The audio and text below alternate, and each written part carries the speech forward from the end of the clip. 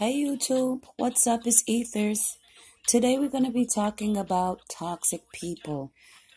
Before I start the video, a couple things I'm going to announce. A, I don't have copyrights to the music that will be playing in the background. B, I do smoke when I make my videos. Today I will be smoking on watermelon punch.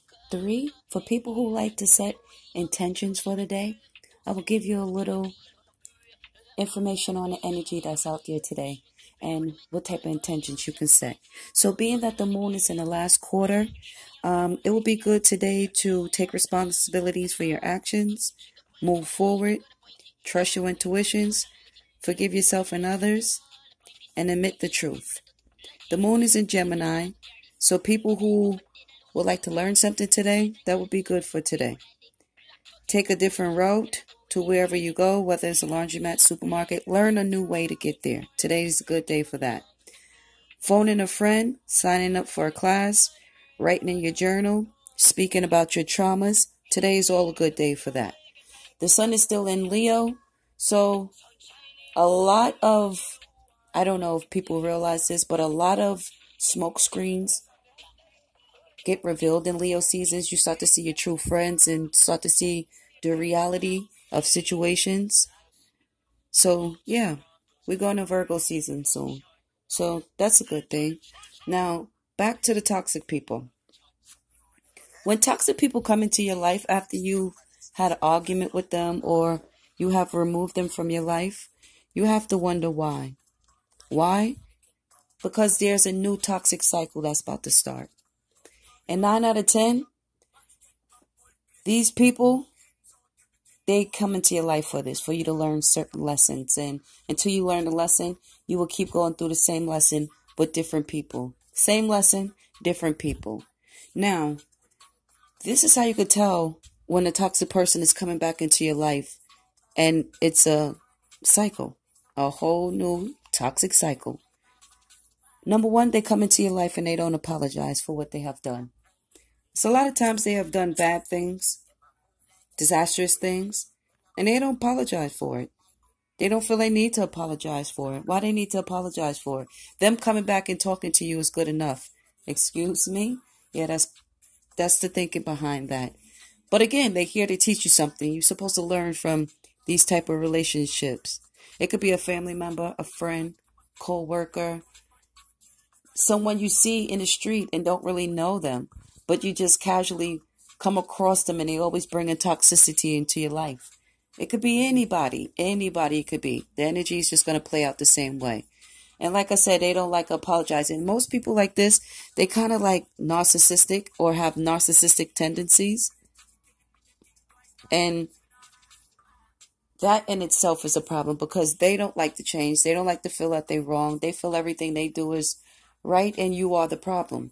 As soon as you try to point a finger at what they're doing wrong or try to put up boundaries and say this is toxic, no, it's like blasphemy. You are the problem. I am not the problem.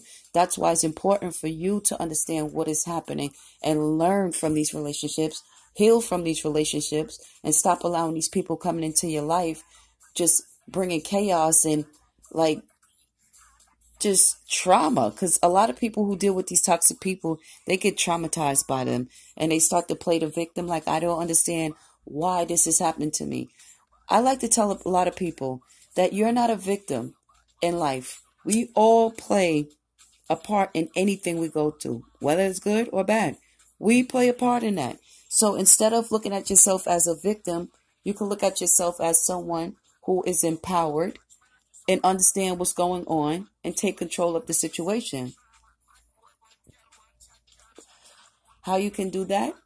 Stop giving them a straw to suck your energy, to come drain you. You know, it's like you're providing endless straws to them. Just come suck my energy, come drain my energy. And people who are empaths or people who are like sensitive to energy or who know that they have gifts that they're born with, you kind of have to stay away from these people because they're going to drain you. They're going to exchange energies with you. You're going to walk in an area or come on a scene with good energy and they're going to drain you. And before you know it, you're going to be feeling miserable and feeling like how this person felt. You know, it's like really exchange. I've been there before. It's a, it's disturbing. It's a disturbing experience to go through to exchange energies with someone. So that's why you have to just stay firm and keep boundaries up with these type of people.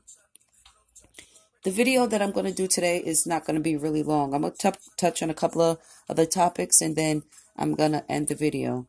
Um, another thing you have to be aware of these people that these people normally have what do you call flying monkeys? Flying monkeys are just people who are in cahoots with them.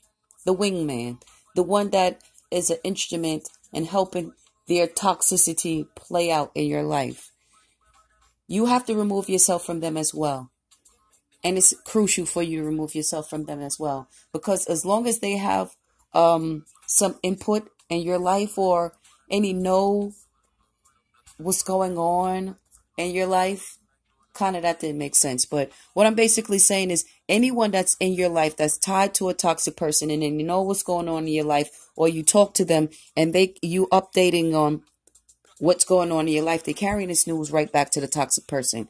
I'll give you a prime example of what I've been through because I'm don't mind giving examples. I have a, had a group of um, friends that I was um, dealing with. Really not friends. I, they were associates, you know, but they came into my life like they're friends. And anybody who come into my life already know it's a lesson to be learned. I'm old enough in life now. I've been through this enough. I already know it's a lesson to be learned. So I always have boundaries up with people. But yeah, they came into my life like they were friends. They always wanted to invite me over to their house, you know, because one of them was a chef, you know, so he liked to cook and always wanted me over there, which was no problem because we used to hang out. We all used to contribute. But it came to a point that they started to think that they can use me. Like, I'm so nice, I'm so kind hearted, they're going to use me. And I'm not going to go too deep into it, but I had to cut all of them off. All of them. In total, I believe it was like seven of them in total. And I cut the relationship with all of them off and did not turn back.